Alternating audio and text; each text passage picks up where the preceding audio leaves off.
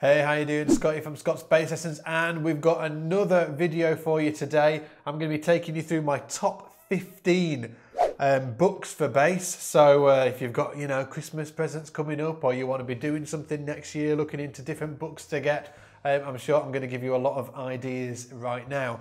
Um, if you haven't signed up to our Christmas list yet, make sure if you're watching this on YouTube, just hit the link below this video. It'll take you through to a page where you can sign up. And what we're doing through all of December, right from the first right to Christmas Day, is re re we're releasing, we're releasing um, a brand new video every day, just like this. But we're also doing giveaways. We're going to be giving away um, effects, pedals, strings, the full shebang. Every week we're going to be doing giveaways. We're going to be doing exclusive behind the scenes content here um, at Scott's Bass Lessons. We're going to be doing a ton of stuff. So to get notified about that, you've got to sign up to the Christmas list hit the link below this video if you're watching it on YouTube to get added to that list. And, and if not, uh, you're probably already on the list. In fact, we've got a special website made up with Christmas snowflakes, so you might be watching it on that right now. So let's get stuck into the books, okay?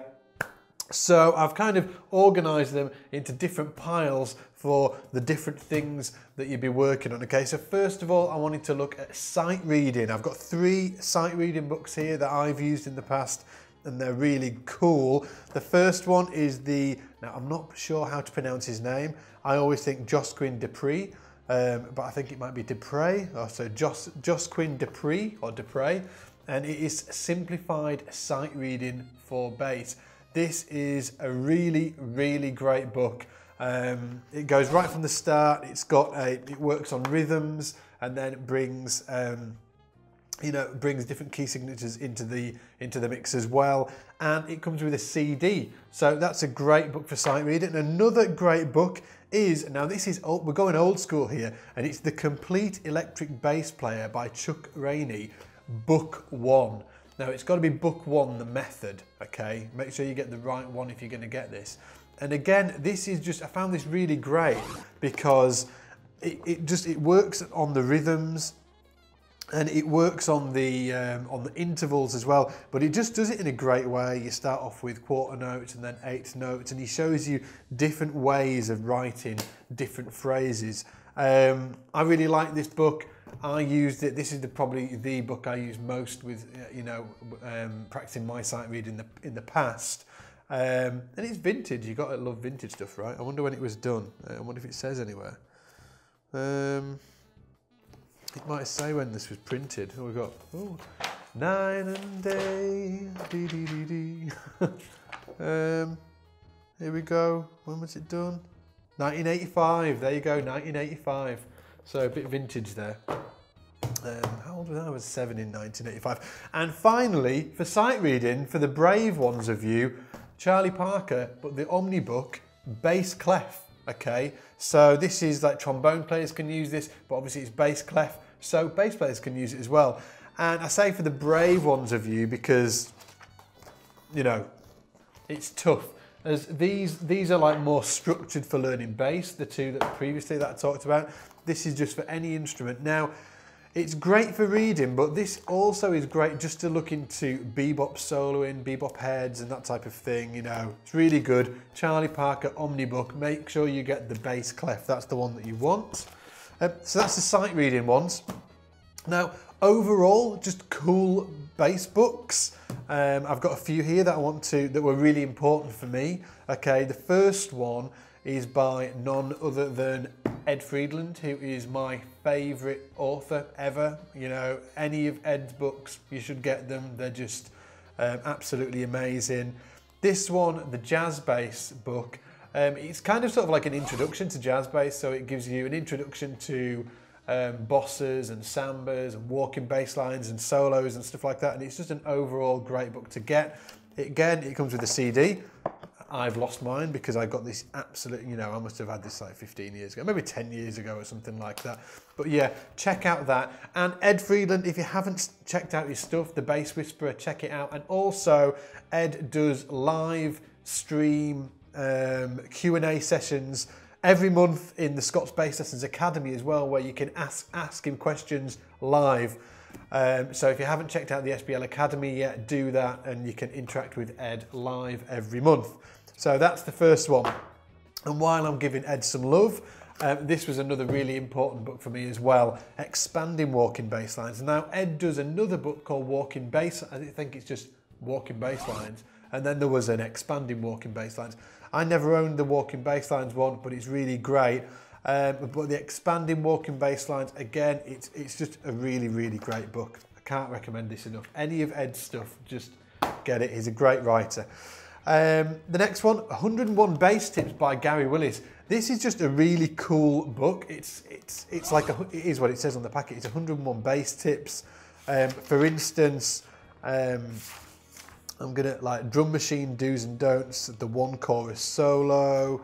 He talks about monitoring. He gives you a toolkit list. He talks about in and out of phase, reusing fretless strings, how to bend strings in when you're fitting them um, adjusting the truss rods, string heightening, pickup balancing, shimming the neck, memorization of the you know bass tunes, false harmonics.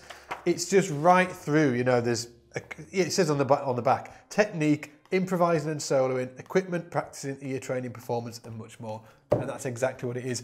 And Gary Willis is an absolute badass. Um, I was lucky enough 10 years ago, maybe more than 10 years ago, 13, 14 years ago to study with Gary Willis, and he blew my mind every time I got to, got to hang out with him. So check out his book, 101 Bass Tips, and his albums too. He plays in a great band called Tribal Tech, as, as, as well as his own stuff as well.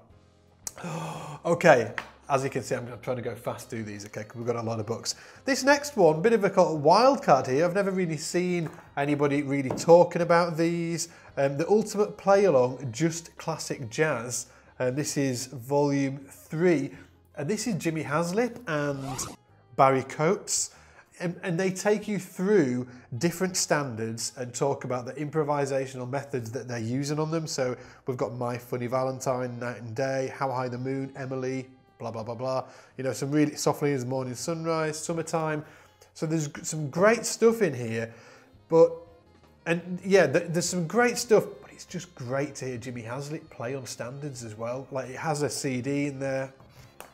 I bet I've lost that one as well. It does come with a CD. Um, I've lost all my CDs.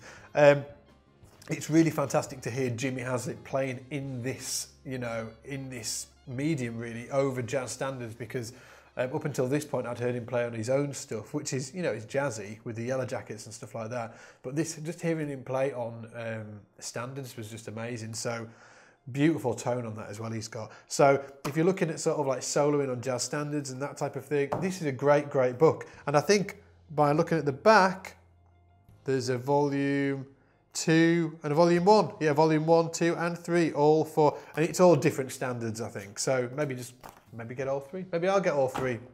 Okay, so the final one for just cool bass stuff is Fishing for Grips by Todd Johnson and uh, Mr. Stinnett. Yeah, Jim Stinnett. So Todd Johnson and Jim Stinnett, both amazing educators. And this comes with a DVD and it just, it's, it, it's, it's chord melody for bass. So that's what it's taking you through, how to do chord melody on bass.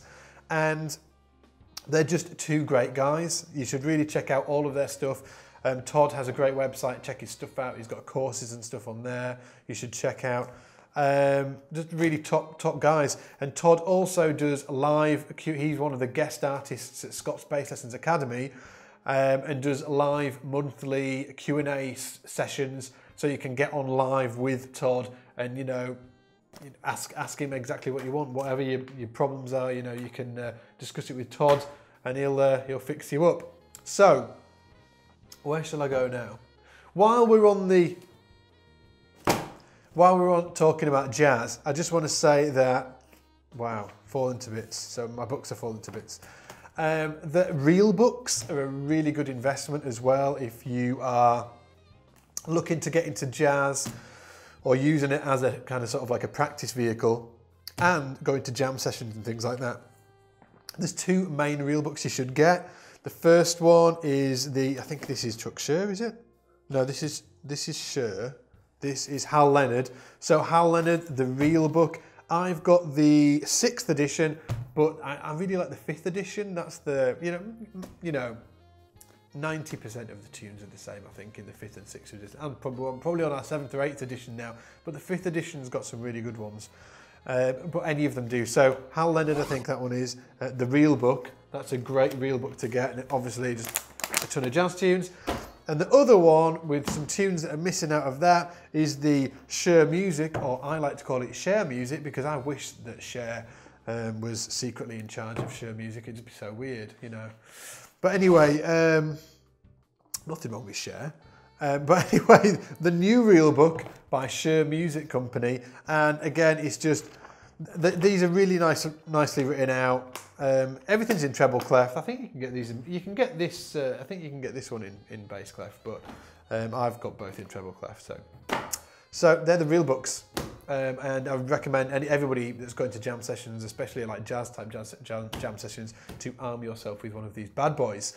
Um, so now onto the more heavy type of improvisational stuff. Okay, so if you're looking into improvisation, this is what you want to uh, get into. So the first one is, I think this is still in print. It's by um, an Irish dude called Ronan Guilfoyle, who is a really, really great bass player. Um, he's played with guys like David Liebman, um, Jim Black, you know, some real heavy cats. He lives over in Ireland and he runs one of the biggest, I can't remember the, uh, I can't remember the music school over in Dublin, but he's, you know, the guy there. He's the, uh, the, the main director of that, I think. Um, and his book is Creative Rhythmic Concepts for Jazz Improvisation. And it's really, really cool. It's not so much about scales, what scales to play on, what chords or anything like that. This is about rhythmical concepts. And he really, really pushes the envelope here. Um, there's some really heavy stuff in here. So if you're looking to get into rhythmical concepts, he's the man. Again, it comes with a CD. And again, it's not in the book because I've lost it. I might have it somewhere. So, next one. This is really cool. Chuck Sher and Marc Johnson.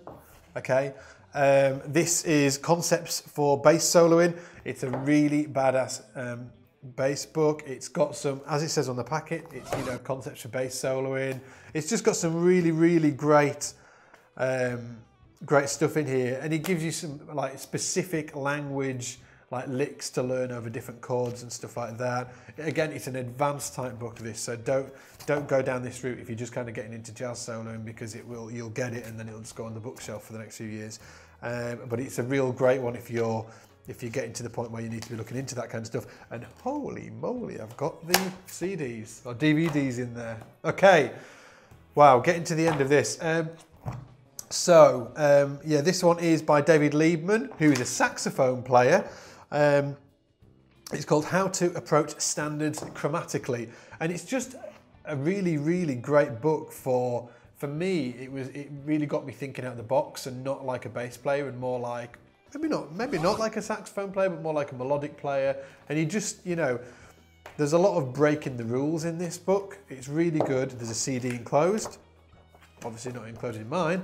um, and but it's just such a really, really great book. Dave Liebman, absolute monster, um, monster sax player, and this is on Aebersold. This is Aebersold. All of these books, if you just search them on Google, you'll be able to find, you know, who published them and stuff like that. Again, it's a real serious book, not for the uh, beginner, um, or it's not really intermediate either. It's sort of like these are quite advanced. Okay, so Inside Improvisation series by Jerry Bergonzi, and this is melodic rhythms. So I'm really into melodic phrases and rhythmical phrasing and playing around with that type of thing. Any of these books, the Jerry Bergonzi books, he's, he's done a series of these. Jerry Bergonzi is an amazing saxophone player and teaches, I think, Berklee or might be Berklee, it might be, no, I think it is Berklee. Um, maybe the, um, maybe the other one. Anyway, um, I digress.